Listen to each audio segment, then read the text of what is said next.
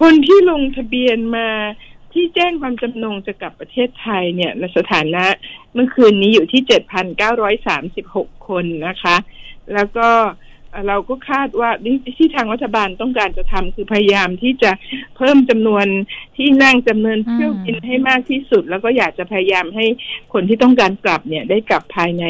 สิ้นเดือนตุลาคมค่ะ จะพยายามให้ดีที่สุดตอนนี้ก็มีการเจรจากับสายการบิน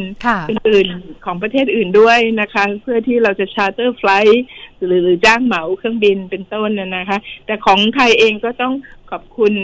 ไม่ว่าจะเป็นทางทออทางการไทยแอร์เอเชียนกแอร์อะไรต่างๆ ตอนนี้ก็มาร่วมกันเต็มที่ค่ะค่ะที่เขาแจ้งมาในการลงทะเบียนว่า เขาไม่ประสงค์เดินทางกลับเนี่ย มีอยู่หนึ่งร้อยหนึ่งคนนะคะ แต่คนที่ไม่ลงทะเบียนเองเนี่ย ไม่ได้ลงทะเบียนเลยเนี่ยมันก็สสสะท้อนว่าส่วนหนึ่งอาจจะยังไม่ทันได้ลงทะเบียนเพราะยังคิดอยู่ หรืออีกส่วนหนึ่งอาจจะอยู่ในพื้นที่ที่โอเค ฉันก็พอจะปลอดภัยยังไม่กลับมันก็น่าจะมีค่ะก็อันที่หนึ่งการการช่วยเหลือของคนที่จะกลับก็คือพยายามที่จะจัดเที่ยวบินต่างๆ ให้ให้เพิ่มมากที่สุดนะคะ ส่วนคนที่ยังอยู่ในพื้นที่เนี่ยยังไม่ประสงค์จะกลับเนี่ยนะคะ ก็แน่นอนที่สุดก็ขอให้ติดต่อกับทางสถานทูตไว้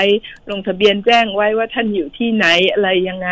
มีการติดต่อได้จากทางสถานทูต คอยรับฟัง